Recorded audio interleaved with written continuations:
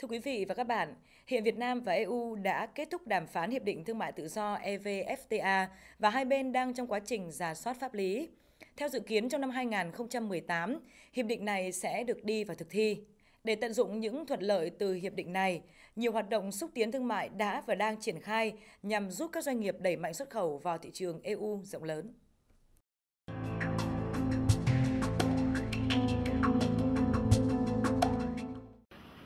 Công Thương cho biết từ năm 2000 cho đến năm 2016, quan hệ thương mại Việt Nam EU đã có những bước phát triển rất tích cực.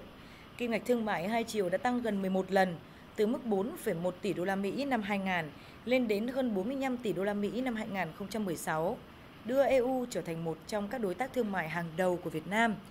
Tính đến tháng 10 năm 2017, kim ngạch xuất khẩu của Việt Nam sang EU đạt gần 42 tỷ đô la Mỹ, tăng hơn 14% so với cùng kỳ năm 2016. Ngoài những thị trường chính trong khối, các nước Đông Âu cũng là thị trường đầy tiềm năng mà chưa nhiều doanh nghiệp Việt Nam khai thác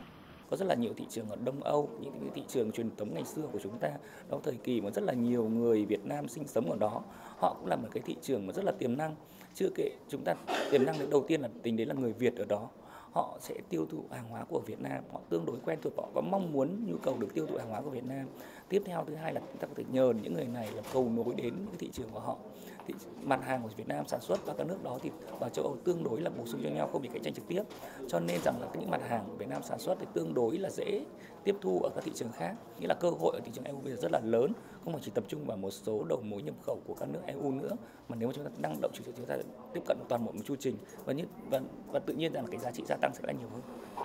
EU hiện là thị trường xuất khẩu lớn thứ hai của Việt Nam với các mặt hàng chủ lực như là may mặc, giày dép, gỗ, sản phẩm từ gỗ, vân vân.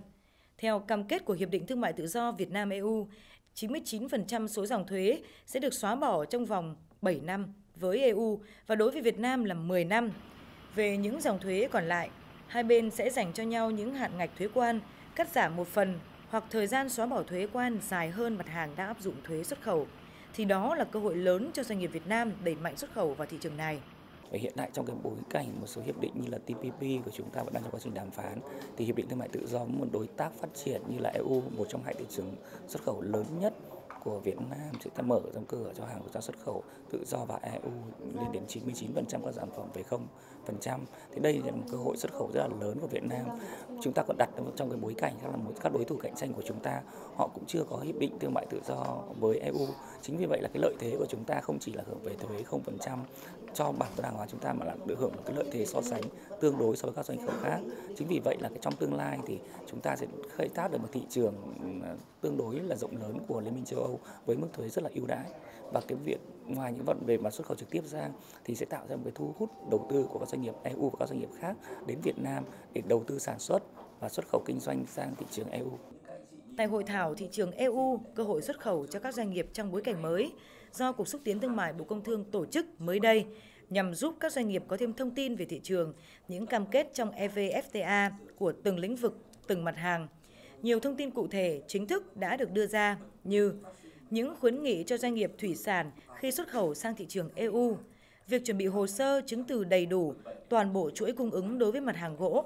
việc cải thiện chuỗi cung ứng để sản xuất hàng giá trị cao hơn, giảm dần gia công đối với mặt hàng giày dép, dệt may, vân vân. Đã giúp doanh nghiệp hiểu rõ hơn về cơ hội cũng như thách thức, tạo động lực và sức ép cho doanh nghiệp trong việc đầu tư sản xuất theo hướng giảm xuất khẩu nguyên liệu và sơ chế,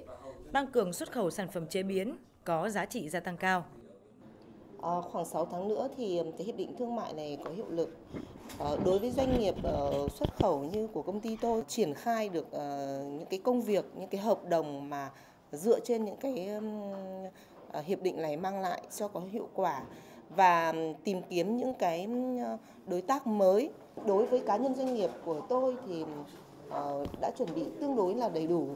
nhưng mà vẫn cần sự hỗ trợ của hiệp hội các doanh nghiệp hoặc là có sự tận dụng của các cái doanh nghiệp để cùng đưa cái tên tuổi của những cái mặt hàng xuất khẩu của Việt Nam nó có tên tuổi hơn trên thị trường châu Âu. Tôi nghĩ là việc đầu tiên doanh nghiệp Việt Nam cần phải làm đấy là có cái cái sản phẩm chất lượng tốt. Cái bước thứ hai sau khi có sản phẩm tốt rồi đấy là phải quảng bá cái sản phẩm cũng như là xây dựng thương hiệu tức là liên quan đến tiếp thị và xây dựng thương hiệu để cho mọi người biết đến sản phẩm của mình và sau đó nữa là bảo vệ cái tên thương hiệu cái nhãn hiệu đấy ngoài mẫu mã chất lượng ra còn về những cái vấn đề về bền vững và tuân thủ môi trường lao động nữa thì là cái cơ hội cho các cái doanh nghiệp của Việt Nam để xuất khẩu sang thị trường châu là rất lớn.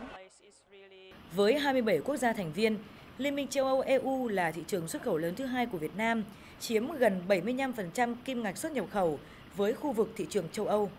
Có thể nói EU là khu vực tiềm năng để các doanh nghiệp khai thác, đặc biệt là khi Hiệp định Thương mại Tự do Việt Nam Liên minh châu Âu EVFTA chính thức có hiệu lực,